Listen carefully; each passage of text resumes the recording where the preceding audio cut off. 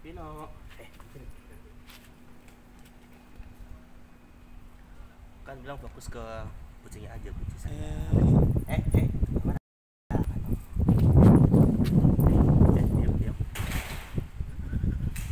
oke ini lokasi saya terakhir.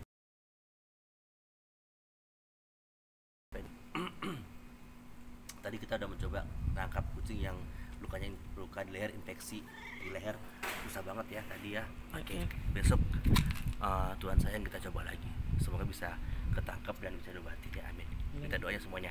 Oke baiklah uh, terus feeding uh, terus sayangi kucing-kucing liar uh, binatang kesayangan Nabi. Ya don't forget berbagi kasih bukan cuma pada manusia tapi juga kepada binatang. Bye bye semuanya. Love you full. Merry Christmas and Happy New Year. God bless us. Wassalamualaikum. Shalom